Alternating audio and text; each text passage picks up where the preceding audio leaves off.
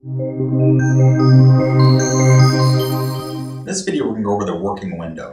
There's a lot of people who have been calling lately saying they keep getting this starburst error message on the controller and they can't figure out why it's causing it. Today I'm going to show you what's happening with that.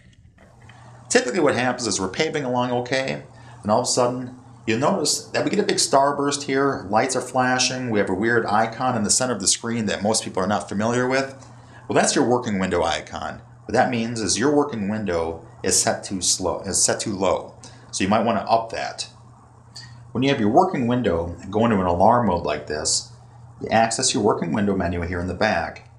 Look what the number is. It was at 0.7, which is a small range because you're basically you know, 0.35 inches either way of your reference point from being off or causing an alarm condition.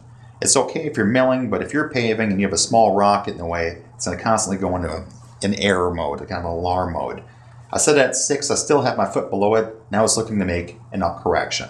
And that kind of got rid of the other error that you're having there. A lot of people will sit there and maybe even turn the working window off. Get to about 8, it should go off, and they don't have that problem. I don't recommend turning your window off, but if you're starting an alarm code like or alarm mode like that quite often, I would turn it off.